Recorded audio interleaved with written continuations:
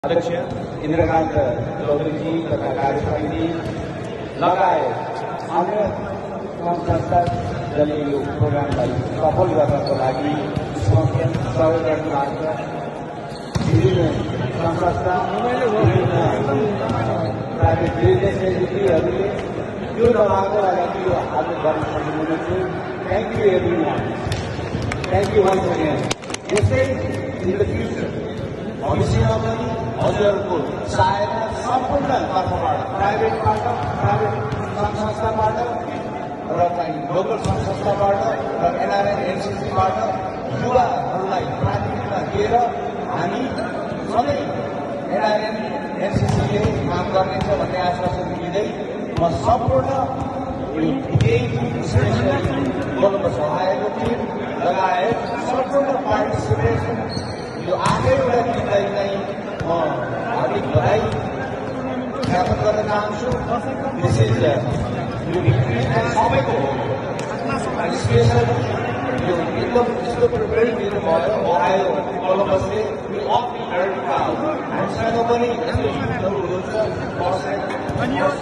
Second अन्त आठैवटा टिममा जुन मैले देखेँ हजुरहरूको चाहिँ एउटा र चाहिँ एउटा चाहिँ commitment keep it on. Please keep it on. We'll support you. You are our future. Thank you very much.